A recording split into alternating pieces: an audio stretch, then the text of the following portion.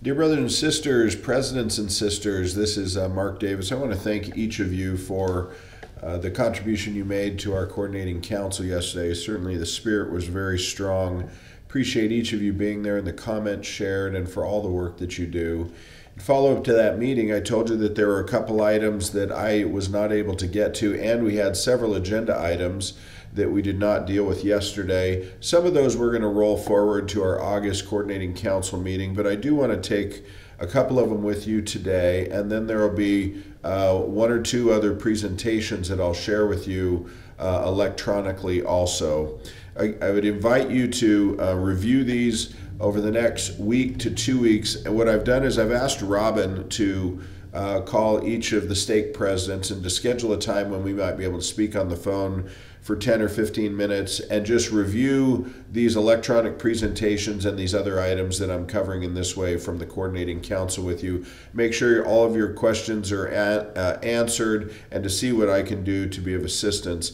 Addition, additionally, if there's any type of training that you would like my help with, training with your presidency, training with your stake or ward councils, with your bishoprics and bishopric meetings, or just as President Walt or President Clyde mentioned yesterday, if you would um, like to have me go out and do uh, visits, ministering visits, less active visits to Melchizedek priesthood holders or others, really be honored to do that. And I'm, I'm able to do that during the week where my travel schedule on the weekend is more challenging. So please invite me to uh, participate as I can be most helpful.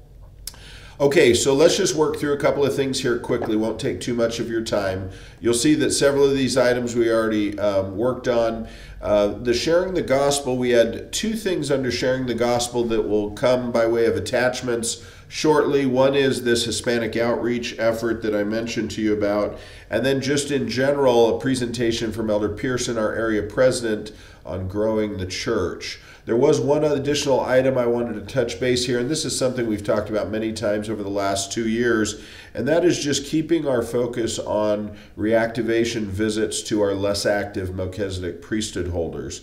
Again, the idea behind this was simply for ward councils to come to know and identify each less active Melchizedek priesthood brother in their ward, to prayerfully identify one or two that you'd like to be visited on a weekly basis, and to have the full time missionaries go out that week with a member of the council or a member of the presidency or the bishopric and extend an invitation to that brother and his family to return in some way to church participation. Our full time missionaries are underutilized and would love to be going out on a weekly basis with members of ward councils or members of presidencies. And what we want them to do on those visits is to teach a simple gospel principle, particularly the restoration, bear testimony, and invite the people to just see is there is there room in their heart to come and be with us again? So I just invite you to continue to emphasize that with uh, bishops and ward councils to identify those less active Melchizedek priesthood holders, understand their background and their situations, and see what we can do to rescue them and bring them home. There's another population of similar high quality and deeply converted people who've come off the covenant path, and those are our sisters who were endowed but aren't currently active in the church. They likewise can be involved in that identification in those visits. Okay. Please, if you'll just continue to talk about that with bishops and ward council so that they'll stay focused on those individuals, that would be wonderful. Um, we're going to address these items listed here under using the proper name of the church. Uh, that is a continuing focus of the prophet and the first presidency and the quorum of the twelve, and we've seen many significant changes that they're implementing to follow that counsel. Um, but we'll roll that into our August meeting. Also on Sabbath day, we'll roll that into our August meeting. I think it'd be instructive for each of you to review the clip that is on your thumb drive from Elder Holland's talk given in gen- general conference. There's you can see the section of that clip, the minutes that are covered, where he talks about the worship experience in sacrament meeting, and think through how we might want to teach that to our brothers and sisters to enhance the reverence and the spirit and really the overall experience for the members that are coming and our friends who are worshiping with us. And of course, teaching in the Savior's way, President McMaster and I were together in his stake and attended a quorum meeting not too long ago. And afterwards, we counseled about how can that elders quorum provide a more engaging, more spiritual, more interactive learning environment Um, hopefully, that with the change to the two hour meeting schedule, everyone remembers that teacher council meetings did not go away. They're simply held now on a quarterly basis, and those teacher council meetings need to be great so that we can continue to improve the culture of learning in our classes and our quorums. Um, today, under other matters, you'll notice there I was going to share some information with you about the new youth and development, uh, children and youth development program that's coming out.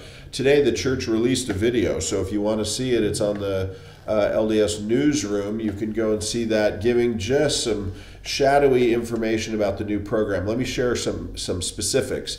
Number one, there will be these components. It's based on Luke two fifty two where the Savior, it says, grew in wisdom and in stature and in favor with God and man.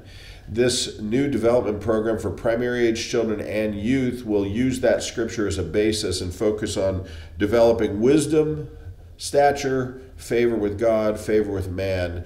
There will be learning components to this, but they will be fully integrated with the home base church supported Come Follow Me curriculum, and then professional and academic learning that will be um, interest that the youth have. There'll be very personalized, goal based things that are going to be selected by the youth. There will be service and activity components of this new youth program that'll be really interesting and enjoyable, including what are called For the Strength of Youth conferences that have been held internationally, where youth across multiple stakes are brought together for extended day conferences personal development will still be a part of this, but it'll all be um, locally appropriate types of development and personal goals set by the individual child or youth in areas of development that are of interest to them. And then the, the year's activities will be geared around helping them accomplish those goals. There is a mobile app that's being developed, an engaging website, and there'll be some emblems of accomplishment uh, that will be given out to the youth as youth as they accomplish their goals. Okay. Should be exciting. What, what's going to happen is in August there will be an announcement. In October, September, and October there will be worldwide training broadcasts for youth leaders and for parents and youth, and then a launch in January of 2020. Should be excellent. San Diego Service Mission, all of you got to meet Elder and Sister Dyer, who are wonderful leaders. They are anxious to have themselves or the other um, senior missionaries that are serving with them come and provide training to wards, ward councils, state councils, fifth Sunday lessons, anything that they can do to get the word out that we have a service mission here, that mission papers run through the normal missionary application process online, and that we have many more of our young men and young women join the San Diego Service Mission if that is an appropriate way for them to serve. So it's really important for us to get the word out to all the wards, to all of our bishops, to all of our ward councils, so that we can find more opportunities for some of our young people that are being left behind um, to have a way to serve locally. Um, please let me know if you need the Dyer's contact information or if there's anything that I can do to assist you in the training of your bishops and others about this great service opportunity. Under Just Serve, you have on your thumb drive a video from Sister Bingham, the General Relief Society presidency. Um, a significant amount of the responsibility for Just Serve is now being shared with our Stake and Ward Relief Society presidents. The idea is simply to have them help us to get the word out of service opportunities and help us find opportunities to serve that can be put on that Just Serve website so that individuals and groups, both in and out of the church, that want to serve within our community can find those resources. So please on, on, uh, watch that video. We were going to watch it yesterday in our meeting. It's about three minutes long from Sister Jean Bingham. And then uh, Stake and Ward Relief Society presidents will, I'm sure, hear from our local Just Serve people, uh, Rebecca Benyon and Robin Gephardt, uh, with further information. Regarding self reliance services, I have a brief PowerPoint presentation that I'd like to walk through with you on this. And let me just launch that here. Hopefully this uh, video is not fouling up as I'm trying to do this. Um, okay, so I'm going to walk through this fairly quickly.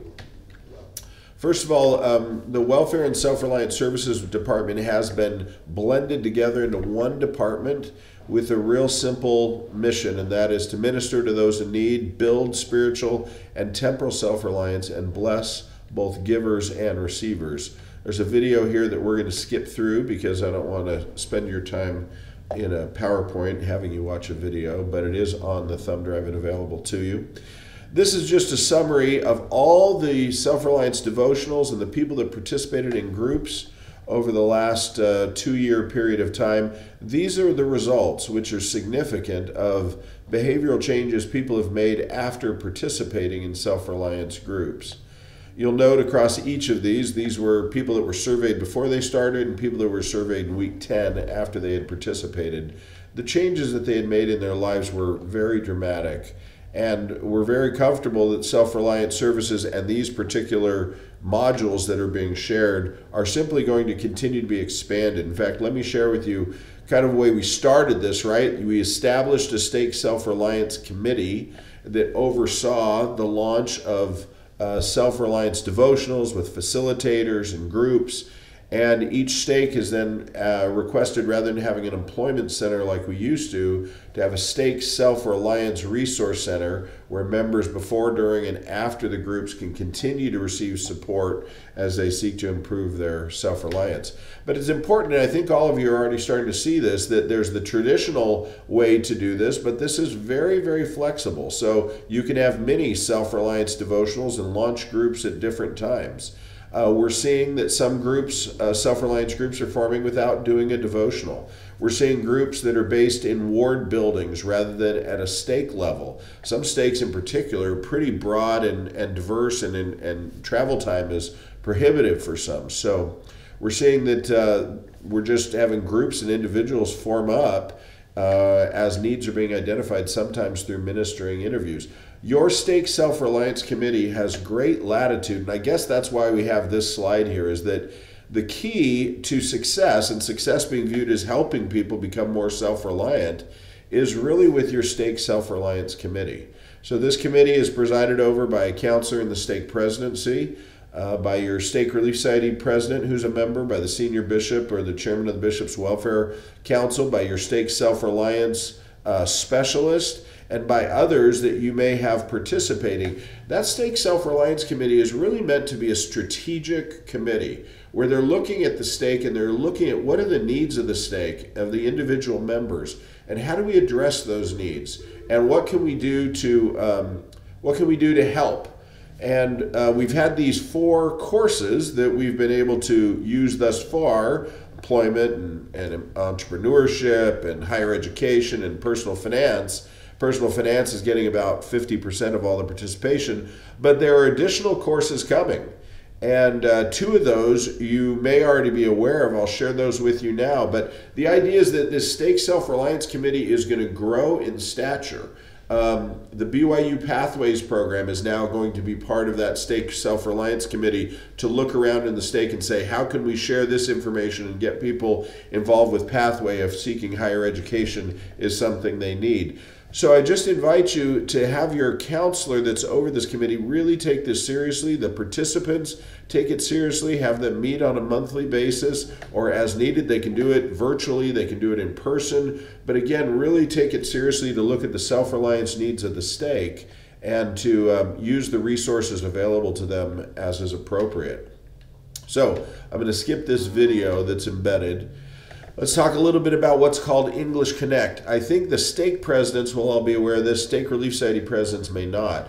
The church has launched this English learning program. It's part of the self reliance module. It is um, English Connect 1, English Connect 2. They are 25 week long classes. And you'll notice that the, in order to be successful, they need to attend that 25 week period every week for a 90 minute class and then commit to practice 10 hours each week to become comfortable in the language. They do need to be literate in their own native language, and they do need to know the Latin or Roman alphabet and basic um, phonics. And of course, they need internet access because this program will have them doing things online, like you may have seen with Duolingo or others. When they come to that class each week, full time missionaries can be there not as the primary teacher, but as conversation people to talk with friends and neighbors this is a wonderful thing we can do for those who are members of the church that want to learn, for members of the church who are less active and would like to learn, for non member friends, non member spouses, anyone really in our communities, we can offer this and this can be taught right in the local area where people that have the, the language need is most acute. So they can gather there and they can take these English classes. And, and, and that just opens up opportunities for them. English Connect 1 is for people starting at ground zero. English Connect 2 is for those who are kind of at a low to intermediate you know, area. And there is an English Connect 3, which will be sufficient to launch them into BYU pathways and uh, eventually online learning for those that really want to continue going. Now, this brand new module has just been launched and it's for young adults and it's called Life Skills. And this life skills uh, course, very interesting, is to help young adults. You can see this table of content on the side here. It basically went through all of the self reliance materials and culled out the most important pieces for young people as they're launching out of their homes and into college and careers.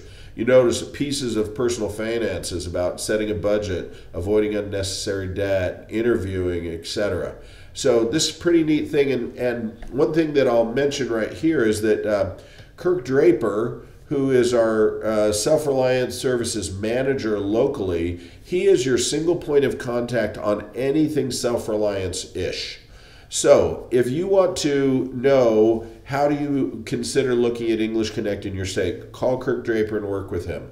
If you want to know how to access BYU pathways and how to connect with pathway missionaries, contact him. If you want to offer a life skills class in your young single adult ward, call Kirk Draper. He will be, again, your single point of contact on all self reliant services things including Pathways, English Connect, the four Pathways modules, and other things that will be coming. He will kind of be the the pe- person that you can go to to point you in the right direction for everything.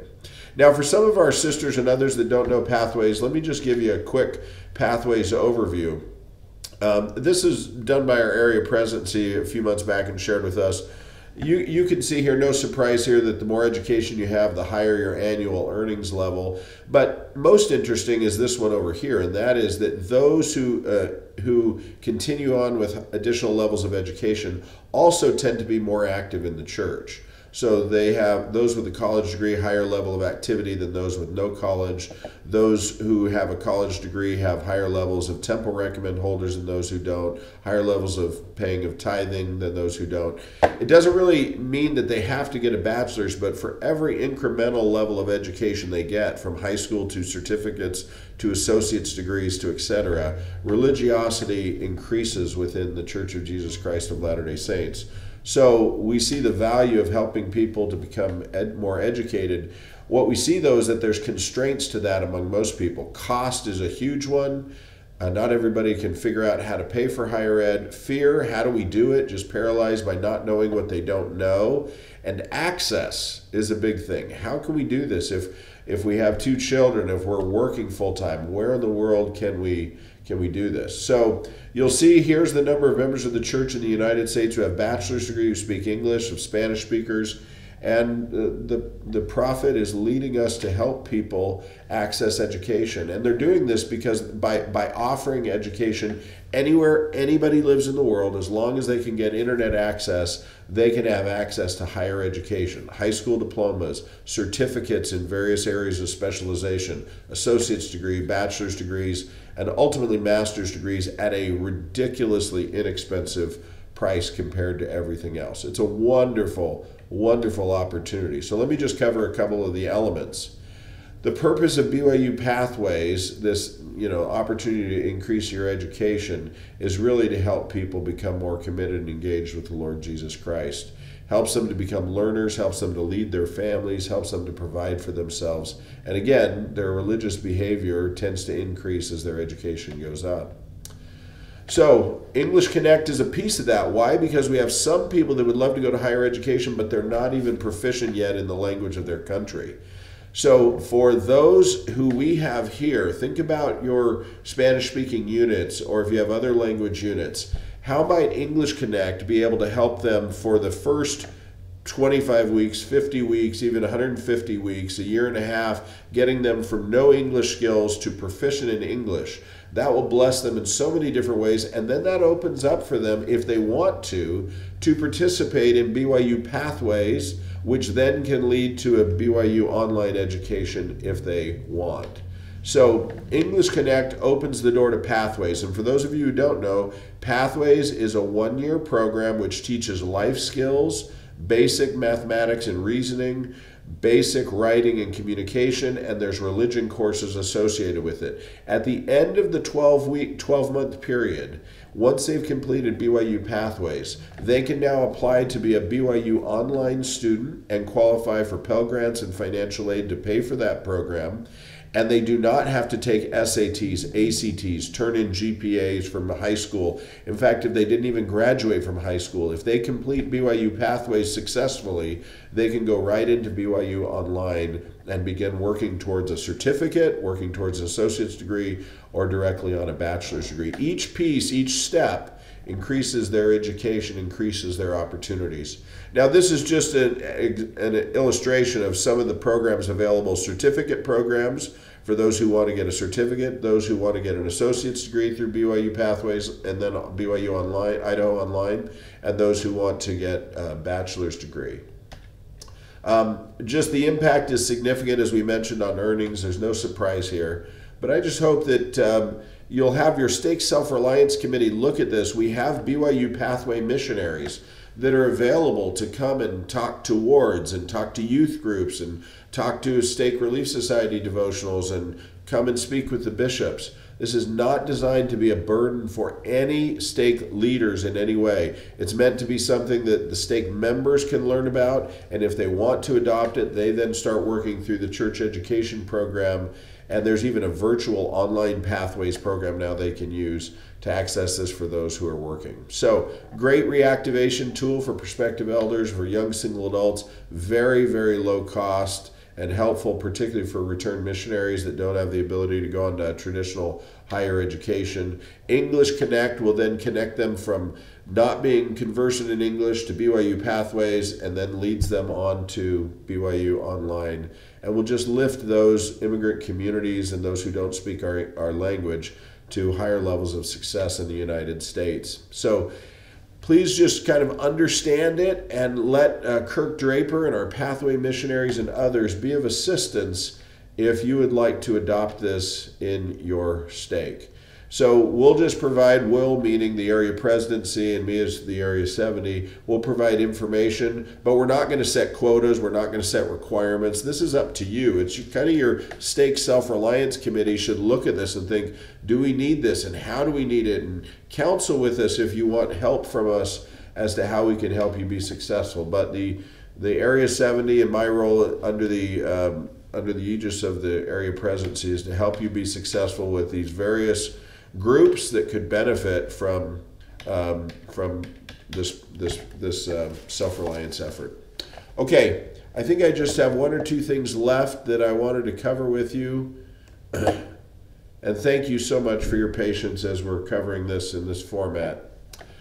Uh, under some of the business matters, um, let's see, we're still looking for uh, program coordinators for our addiction recovery program. That's not people that are leading individual groups but that's program coordinators in San Diego and Carlsbad to kind of provide overall supervision to the group leaders of the 25 or so groups that participate in uh, San Diego. Uh, by way of information, Elder and Sister McGee will be concluding their mission on June 1st as our church service missionary coordinating couple. Elder and Sister Harleen, who live in the San Clemente stake, which will become part of the combined Carlsbad, Carlsbad Irvine Coordinating Council, which I will be supervising along with the San Diego Coordinating Council. They're already serving, and they will now become our Elder and Sister McGee to help us coordinate our activities. That'll begin again on June 1st. Um, item number three here, combined YSA units. We've had many of your YSA units that have chosen to combine. We have some of you who have not chosen to combine, which is fine. For those who have combined, we're really interested, we, me, are interested in what kind of results are you seeing? Are we seeing, did we see half the ward disappear and go into inactivity? Are we seeing all of those who combined stayed and we've now seen an increase in activity? Um, is there more reactivation? Has missionary work changed? What positive and or negative results have we seen from the com combination of these units? And what, what are the next steps to support these YSA units uh, both in their own units and collectively across the area. President Clark does preside over our Young Single Adult Area Council, and I know they have their quarterly sacrament meetings that everybody gathers to, but we're very concerned that our young single adults are having their needs met and hope that you'll just kind of look at that for those of you who have combined YSA units and see how we're doing. Also, we have a mid singles and a, and a single adult uh, committee. We have in Pacific Beach, we have a mid singles ward, which is in the San Diego North Stake. And the San Diego North Stake supervises our mid single uh, work and our single adult work at the kind of council level. And so, uh, anyway, we were going to hear a report. I won't fill it anymore. Robin already sent you an email about emergency response and communication. Lastly, here, just note that. Uh, well, in fact, you know what? I'm going to have you scrap this. Uh, these date, this date for our next coordinating council was set for August 25th. However, my next area council meeting isn't until August 24th, and I had my area council just on Saturday before this Sunday's coordinating council, and so much new information was given that I wasn't really able to synthesize it as effectively as I would like to. So I think we're going to need to have at least a, a week break in between there so I have time to do that try to keep our meetings to three hours. Our next coordinating council will be only with the San Diego Council, not with the Northern Council, uh, because of the new combination that's happening with Irvine and Carlsbad missions into the Newport Beach mission and the Newport Beach Coordinating Council. Okay, thank you for your patience in listening to this. Call me if you have any questions. Again, Robin will be follow following up. Bless you.